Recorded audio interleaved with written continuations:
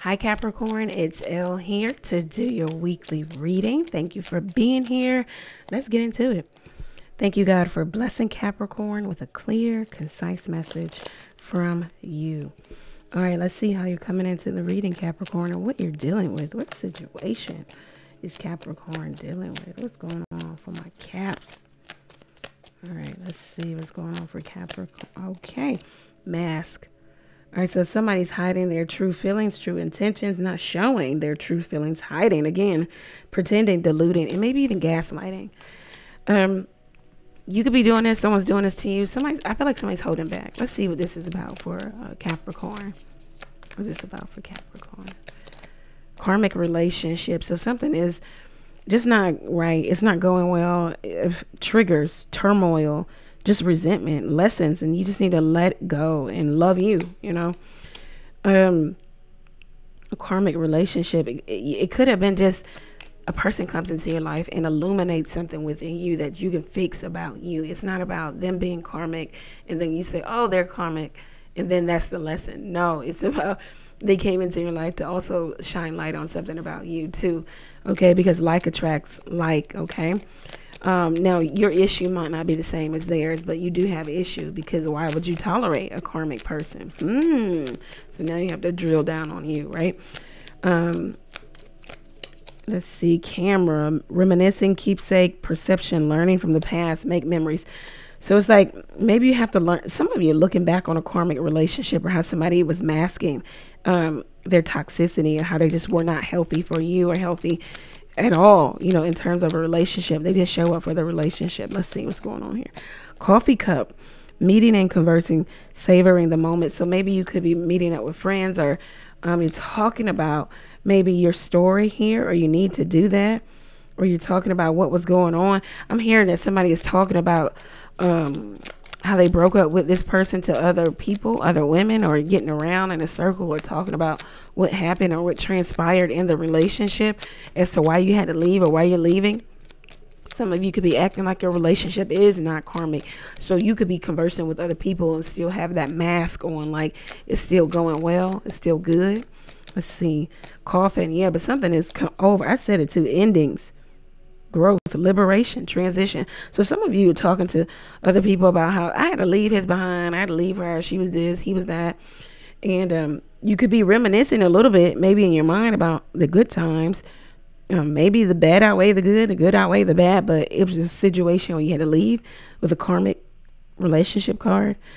Um, somebody could want to rebuild, work on this. They could be interrogating you. This is repetitive like with a hammer working on this relationship over and over again and it's going nowhere fast and that's how you feel or that's how the other person feels or somebody knows that it's going to go nowhere fast but they still want to work on it once again uh, is what i'm hearing. It's not even that it's a first time working on it. It's like they just keep coming back um what is the future energy for capricorn? Future energy for capricorn. Yeah distant horizons, so growth liberation spirituality delving into you learning about you so that you can be better in your next relationship. All right so high honor for some of you and thoughts. So somebody's thinking of you because you left now somebody's putting you high up on that pedestal in their mind you got complete residence in their mind honey um, and they could even be thinking about marrying you or marriage with you. They don't want to let you go. Somebody wants to work on this, rebuild this. Let's see. They want to like meet with you to talk about the ending because they're reminiscing. And some of you are meeting with other people and you're talking about how you had to let this go. Let's see. I heard he was crazy coffin coming out again. So this is definitely over. Okay. Somebody's like, it's a no. With this card, it says a no go. So you might have to meet up with this person or you tell this person no. It's just a no. It's a strong no.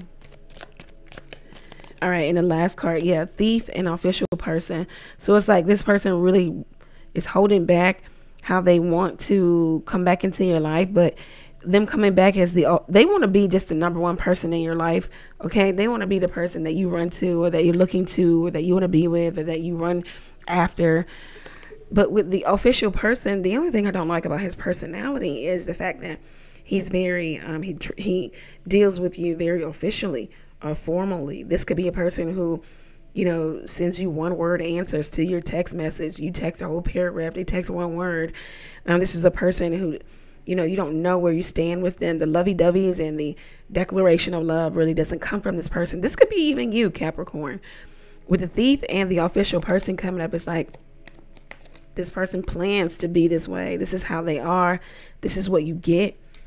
You know, maybe they uh, they hold back. This is somebody who feels like they need to hold back they're not comfortable being being vulnerable. Clarify this one. These two cards. Thief and official person. This is somebody who's dedicated to work, making money, looking good, being out in the public, you know, limelight, yeah, pathway. Maybe this person is, is trying to tell you that they're going to take a new path with you. They want to do something new with you.